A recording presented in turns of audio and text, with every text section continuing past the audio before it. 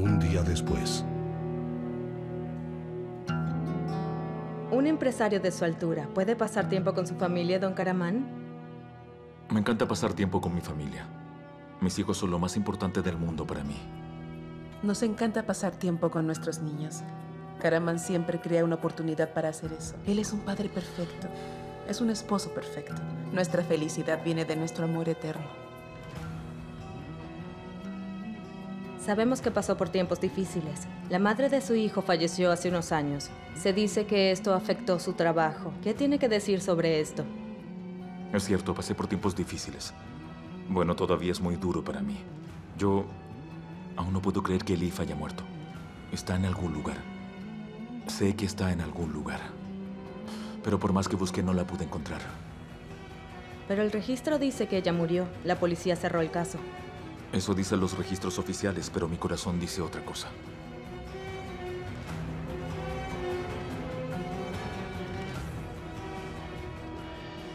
¿Está insinuando que todavía tiene sentimientos hacia ella? Nunca he intentado esconderlo.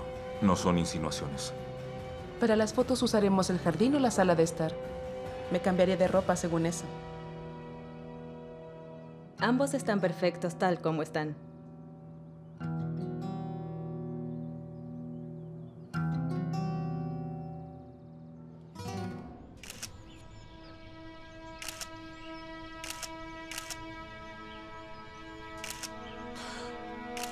Creo que con eso basta. Claro.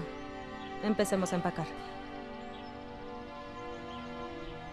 Tengo cosas que hacer. Tengo que irme. Por supuesto, don Caramán. Muchas gracias. Gracias a usted.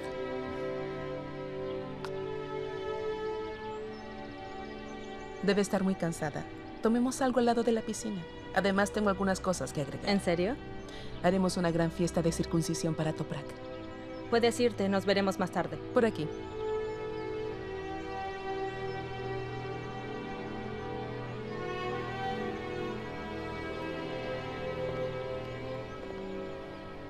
No hemos visto a nuestros amigos durante mucho tiempo.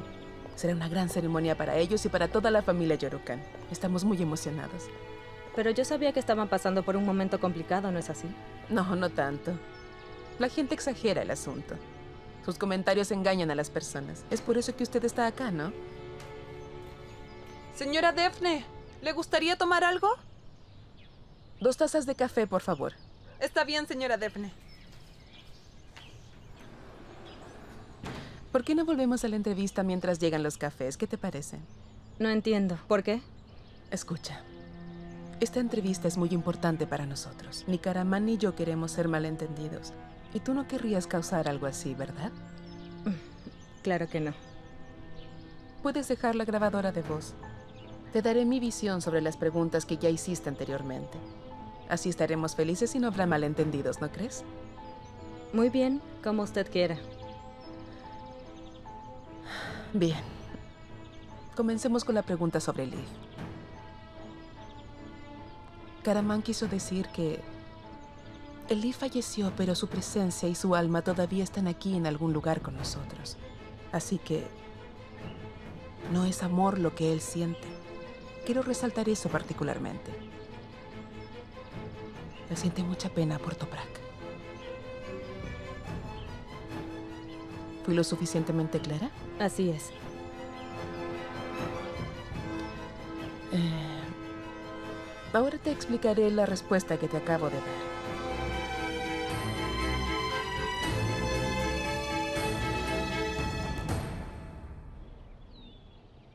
Claro, ahora yo tengo que recoger el periódico. ¿Dónde están todos los empleados de esta casa?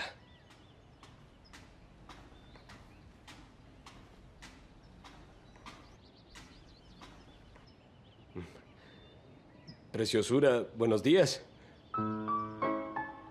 ¿Perdón? ¿Dijiste preciosura? Ah, perdón, Mugyan, solo me confundí. Lo siento. ¿Cómo estás? Bien. Yo vengo llegando de hacer ejercicio. Aproveché de recoger el periódico. Bueno, dicen que es muy bueno estar informado y también en forma, ¿no crees?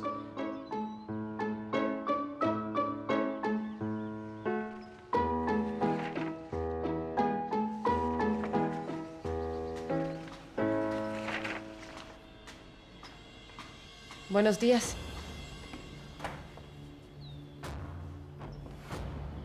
¿Qué tienes ahí? ¿Por qué lo escondes?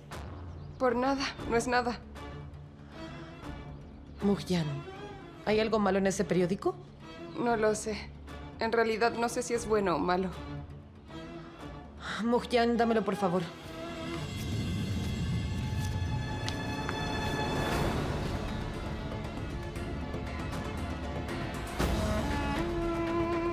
Felicidad y paz, las claves del amor.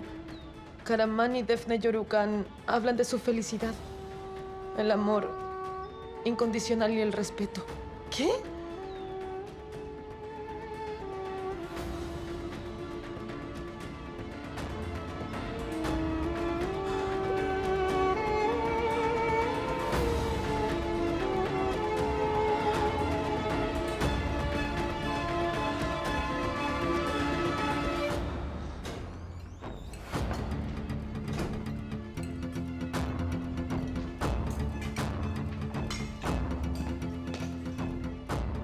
¿Qué es esto, Defne? No escribió nada de lo que dije. Todo lo que escriben ahí es mentira. Bueno, no sé qué decir. Creo que solo escribió lo que vio nada más. Defne, sabes perfectamente a qué me refiero. O ella cambió todo a su antojo, o tú cambiaste mis respuestas. Porque lo que está escrito acá es lo opuesto a lo que dije. Lo que piensa la gente importa, ¿cierto? Que somos una gran familia, que somos muy felices. Creo que la entrevista consiguió nuestro objetivo. ¿A quién le importa lo demás? Esta es la gran idea que tuviste, cambiar todo lo que dije, ¿no? ¿Cómo pudiste hacer eso, Defne? Pensé que habías cambiado. Caramán. Yo la hice escribir todo eso.